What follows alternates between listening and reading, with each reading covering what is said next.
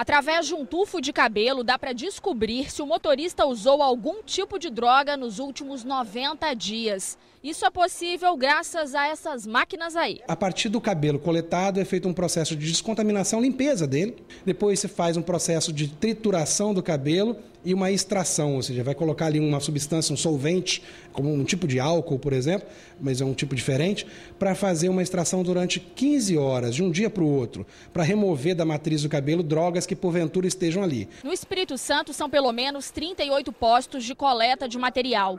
A amostra recolhida é enviada para um dos seis laboratórios do país autorizados a fazer esse tipo de exame. Por aqui, nenhum laboratório está credenciado ao Departamento Nacional de Trânsito ainda. Este de Vila Velha está em fase de credenciamento. Isso garante que vai ser realizado num prazo menor.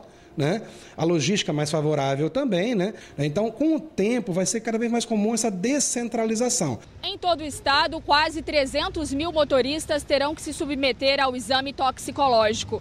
São condutores habilitados nas categorias C, D e E. Quem não fizer o teste não vai conseguir adicionar categoria nem renovar a carteira de habilitação. Não tem conversa. Sem o resultado do exame, o sistema trava e o motorista não consegue concluir o processo. Quem já possui essas, essas categorias, na renovação, se não apresentar o exame toxicológico, o sistema trava, ele não consegue é, é, concluir o processo. Ou se você iniciar um processo de adição de categoria, você faz todas as outras aulas, mas na hora que fizer o exame médico e não tiver esse exame, o toxicológico, o, o processo dele é, é paralisado porque o sistema não deixa avançar sem esse resultado do exame.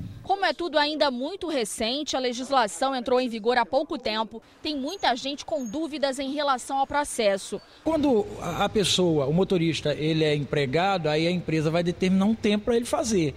E quando ele é autônomo, ele só vai fazer com cinco anos. O Detran explicou que, de maneira geral, o motorista será obrigado a fazer o exame a cada cinco anos. Então, nós entendemos sim que é, a exigência desse exame venha contribuir para a segurança das estradas do nosso país.